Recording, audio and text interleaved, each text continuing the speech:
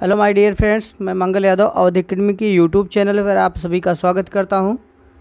आज मैं फिर से आप लोगों के लिए स्टैटिक जीके के 25 महत्वपूर्ण क्वेश्चन लेकर आया हूँ। और सभी क्वेश्चंस बहुत ही महत्वपूर्ण हैं और अंत में एक बहुत ही महत्वपूर्ण क्वेश्चंस लगा हुआ है। तो चलिए, आप लोग हमारे साथ इस वीडियो में अंत तक बने रहिए और ये रहा आपकी स्क्रीन पर आज का हमारा पहला प्रश्न। साइबेरियन आईबैक्स क्या है? जी हाँ साइबेर सॉरी साइबेरियाई आईबैक्स क्या है? जल्दी जल्दी उत्तर दीजिए। ए पहाड़ी शेर, बी पहाड़ी हिरण, सी बड़ी और भारी बकरियाँ, सी एक प्रकार का घोड़ा। जल्दी जल्दी उत्तर दीजिए। साइबेरियाई आईबैक्स क्या है? बिल्कुल बिल्कुल बिल्कुल, C is the right answer. बड़ी और भारी बकरियाँ को साइबेरियाई आईबैक्स के नाम से जाना जाता है, C is the right answer. Next question. Archipelago archipelago क्या है? ए, द्वीपों का समूह श्रृंखला संघ या संग्रह। बी, भूमि और समुद्र का मिलान। सी, एक वस्तुकार का बैकुंठ डी, एक प्रकार का चर्च। जल्दी जल्दी उत्तर दीजिए। आर्कीपेलेगो क्या है? जल्दी जल्दी बताइए।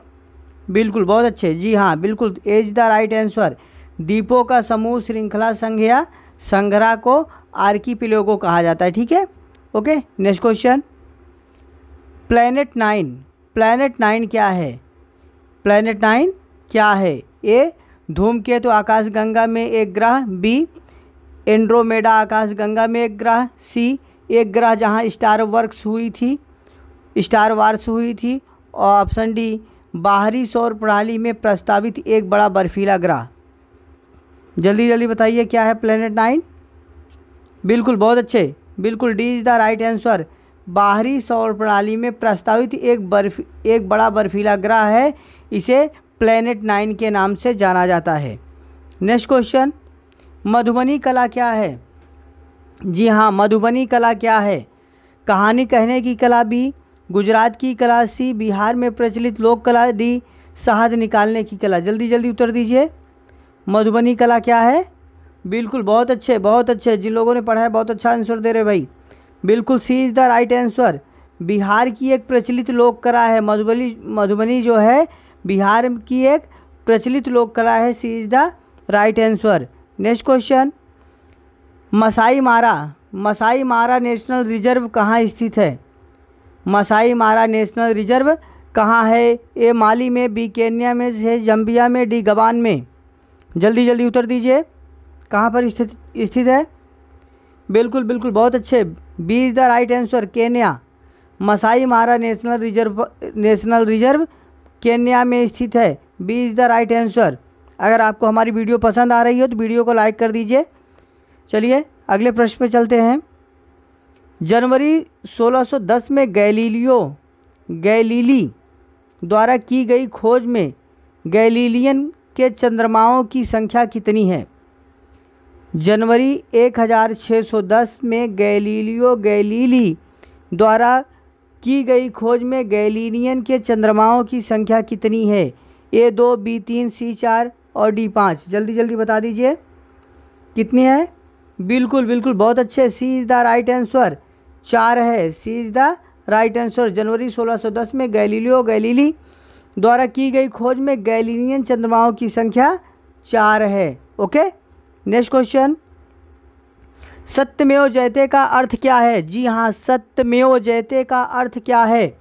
ए, सत्य की ही विजय होती है, बी, सच्चा विश्वास दुर्लभ, सी, सत्य ईश्वरीय है, डी, सत्य एक खजाना है। जल्दी जल्दी बताइए, सत्यमेव जयते का अर्थ क्या है? बिल्कुल बिल्कुल, बहुत अच्छे। A is the right answer, सत्य की ही विजय होती है। सत्यमेव जयते का अर्थ है, सत्य की ही विजय होती है A is the right answer. Next question, स्वदेशी क्या है? स्वदेशी क्या है? भारत में निर्मित वह सामग्री जो भारत में उत्पादित हुई है, बी, विदेशी भूमि में निर्मित वह सामग्री जो विदेशी है, सी, एक चरखा की रुई काटने के लिए प्रयोग किया जाता है, और ऑप्शन डी ऑप्शन डी, कपास से बना देश का झंडा। जल्दी जल्दी बताइए, स्वदेशी क्या है?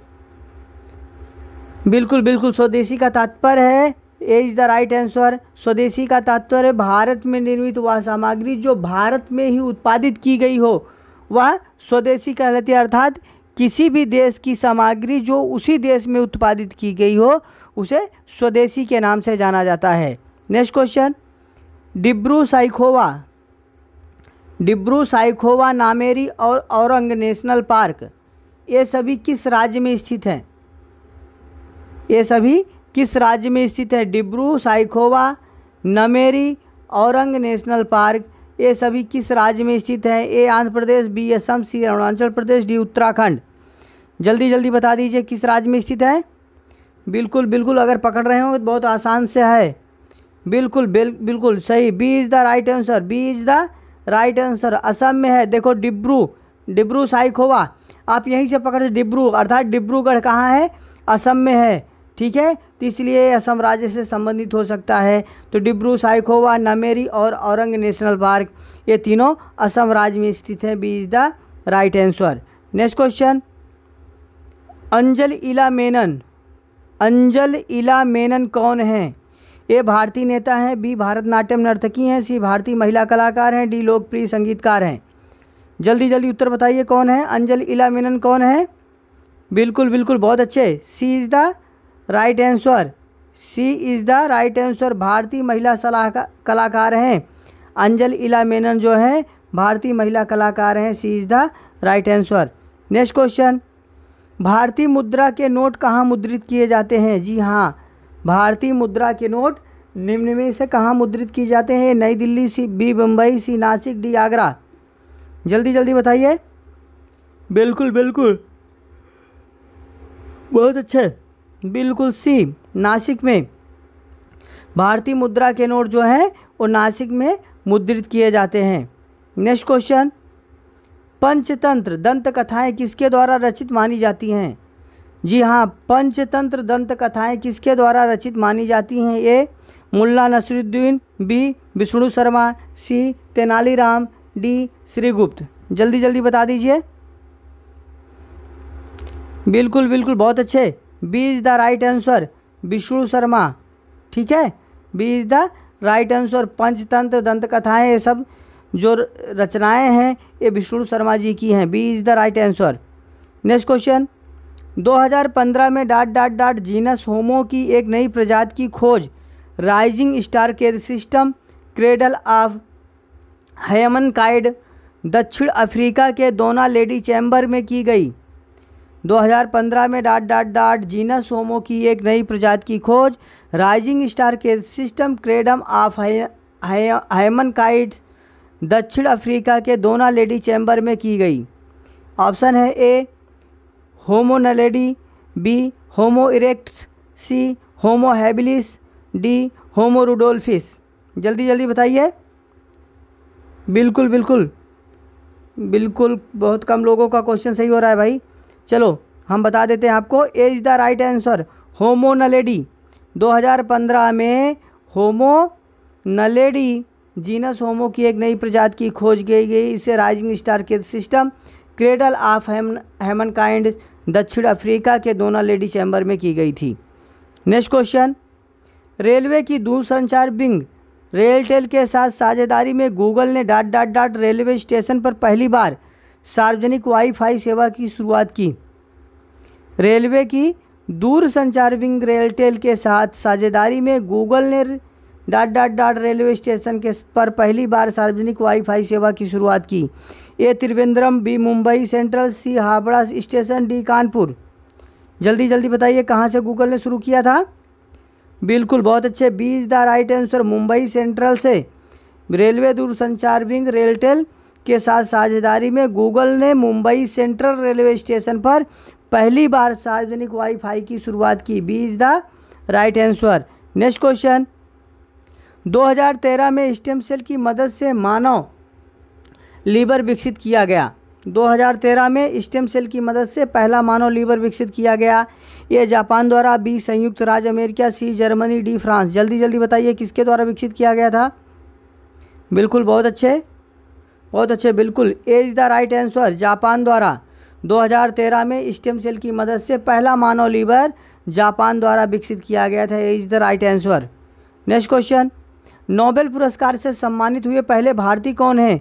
जी हाँ नोबेल पुरस्कार से सम्मानित हुए पहले भारतीय कौन हैं? A. Rabindranath Tagore, B. C. V. Raman, C. Mahatma Gandhi, D. Mother Teresa. जल्दी जल्दी उत्तर दीजिए। नोबेल पुरस्कार से सम्मानित हुए पहले भारतीय कौन हैं? बिल्कुल, बहुत अच्छे। A is the right answer. Rabindranath Tagore ji हैं।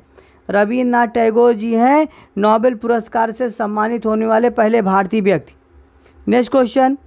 निम्नलिखित में से कौन सा भारत का सबसे बड़ा ग्लेशियर है? कौन सा भारत का सबसे बड़ा ग्लेशियर है? A, Gangotri glacier, B Drang Drung glacier, C, Shafat glacier, D, Siachen glacier. जल्दी जल्दी बताइए, भारत का सबसे बड़ा ग्लेशियर कौन सा है? बिल्कुल सही, C is the right answer. Shafat glacier Bharat का सबसे बड़ा ग्लेशियर है। नेक्स्ट क्वेश्चन स्वर्ण मंदिर किस झील के किनारे स्थित है। जी हाँ अमृतसर का स्वर्ण मंदिर सुना होगा। स्वर्ण मंदिर किस झील के किनारे स्थित है। ए अमृत सरोवर झील, बी, गोल्डन झील, सी, हरके झील, डी, सुखना झील। जल्दी जल्दी बताएँ। बिल्कुल बिल्कुल, A is the right answer Amrit Sarovar झील। स्वर्ण मंदिर जो है अमृत सरोवर झील के किनारे स्थित है। Next question. ठोस आयोडीन का रंग होता है। ठोस आयोडीन का रंग होता है। ए सफ़ेद, बी रंगहीन, सी बैगनी, भूरे से थोड़ा काला, डी लाल, भूरा। जल्दी जल्दी बताइए, ठोस आयोडीन का रंग कैसा होता है? बिल्कुल बहुत अच्छे। C is the right answer. बैंगनी, भूरे से थोड़ा काला होता है ठोस आयोडीन का रंग। Next question. निम्न में से जो अलग या विषम है उसे चुने। निम्न में से जो अलग या विषम है उसे चुने। ए डल झील, बी सांभर झील, सी बुलर झील और डी बेम्बना बेम्बनादई झील। जल्दी जल्दी बताइए, कौन सा अलग झील है? बिल्कुल बिल्कुल B is the right answer, Sambhar झील। सांभर झील जो है, सबसे अलग झील है। बाकी डल झील, बुलर झील और बेम्बनादई झील, ये तीनों मीठी पानी की है, जबकि सांभर झील क्या है? खारे पानी की झील है। ओके? Next question. 2016 में इसरो ने डाट डाट डाट में भारतीय रेलवे में डाट सैटेलाइट आधारित चेतावनी प्रणाली परीक्षण का आयोजन किया। 2016 में इसरो ने डाट डाट डाट में भारतीय रेलवे में डाट सैटेलाइट आधारित चेतावनी प्रणाली का आयोजन किया। ये Mumbai, B Ahmedabad, C Kolkata, D Delhi. कहाँ पर किया था? बिल्कुल जल्दी जल्दी बता दीजिए। बहुत अच्छे बहुत अच्छे। बिल्कुल सही, अहमदाबाद।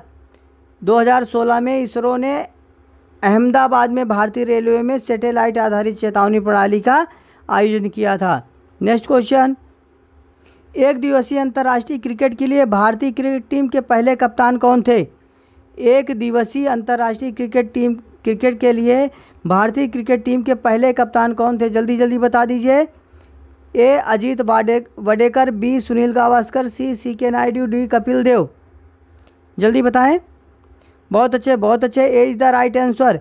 Ajit Wadekar, एक दिवसीय अंतर्राष्ट्रीय क्रिकेट के लिए भारतीय क्रिकेट टीम के पहले कप्तान जो थे अजीत वडेकर थे। Is the right answer next question भारतीय संविधान में मौलिक कर्तव्य किस देश के संविधान से लिया गया है? भारतीय संविधान में मौलिक कर्तव्य किस देश के संविधान से लिया गया है? ये यूनाइटेड किंगडम बी संयुक्त राज्य अमेरिका. सी सोवियत संघ. डी ऑस्ट्रेलिया जल्दी जल्दी बताइए कहाँ से लिया गया है? बिल्कुल बिल्कुल, बहुत अच्छे। C is the right answer Soviet संघ से। यूएसएसआर, सोवियत संघ, भारतीय संविधान के मौलिक कर्तव्य सोवियत संघ देश के संविधान से लिए गए हैं। नेक्स्ट क्वेश्चन, कंप्यूटर के संबंध में डब्लू डब्लू का डब्लू का विस्तार क्या है? कंप्यूटर के संबंध में डब्लू डब्लू डब्लू का विस्तार क्या है? जल्दी जल्दी बता दीजिए। A, World Wide Web, B, whole world web, C web web wide world, D, wide world web. जल्दी जल्दी उत्तर दीजिए। बिल्कुल बिल्कुल, is the right answer. World Wide Web, computer के संबंध में डब्लू डब्लू विस्तार का नाम है World Wide Web. Next question. Hindi दिवस हर साल कब मनाया जाता है? जी हाँ हिंदी दिवस हर वर्ष कब मनाया जाता है? ए, पाँच सितंबर, बी, दो अक्टूबर, सी, पाँच जून, डी, चौदह सितंबर। जल्दी जल्दी बताइए, हिंदी दिवस कब मनाया जाता है? बिल्कुल, बहुत अच्छे। D is the right answer, चौदह सितंबर को। हिंदी दिवस हर वर्ष चौदह सितंबर को मनाया जाता है। और अगला क्वेश्चन आपका रहा, आज का आखिरी क्वेश्चन और बहुत ही महत्वपूर्ण क्वेश्चन है। प्रश्न है, वास्को डिगामा और क्रिस्टफ, क्रिस्टिफस कोलंबस जब भारत की यात्रा पर निकले थे, उस समय उसने उसने एक नक्शे का इस्तेमाल किया था। उस नक्शे को किसने बनाया था? जी हाँ वास्को डिगामा और क्रिस्टफस कोलंबस जब भारत की यात्रा पर निकले थे तो उस समय उन्होंने एक नक्शे का इस्तेमाल किया था। उस नक्शे को किसने बनाया था? A. Muhammad al Idrisi, B. Hecataeus, C. Eratosthenes, D. इनमें से कोई नहीं। जल्दी जल्दी बता दीजिए। ओहो, बहुत लोग गलत कर रहे हैं भाई, बहुत गलत। ना ना, बिल्कुल नहीं, हिकेटियस नहीं है। बिल्कुल, A is the right answer. A is the right answer Muhammad al Idrisi ने बनाया था। वास्को डिगामा और क्रिस्टोफर कोलंबस जब भारत की यात्रा पर आए थे तो उस समय नक्शे का जो इस्तेमाल किया था, उस नक्शे का निर्माण मोहम्मद अल इदरीसी ने बनाया था। और उस समय के उनके नक्शे, इदरीसी जी के नक्शे की सबसे बड़ी विशेषता थी कि ये नक्शा क्या करते थे? उल्टा बनाते थे। अर्थात इनका जो है, नॉर्थ नीचे होता था, साउथ ऊपर होता था और ईस्ट जो है, लेफ़्ट साइड में होता था और वेस्ट राइट साइड में होता था। इसलिए उनके मैप को जब भी पढ़ा जाता था तो उसे उल्टा करके पढ़ा जाता था। आपको हमारी वीडियो कैसी लगी? अगर वीडियो पसंद आई तो वीडियो को लाइक कर दीजिए। साथ ही साथ चैनल पर नए हैं तो चैनल को सब्सक्राइब कर लीजिए और नोटिफिकेशन का बेल ऑन कर लीजिए, जिससे हमारी आने वाली सभी वीडियो आपको मिलती रहें। धन्यवाद।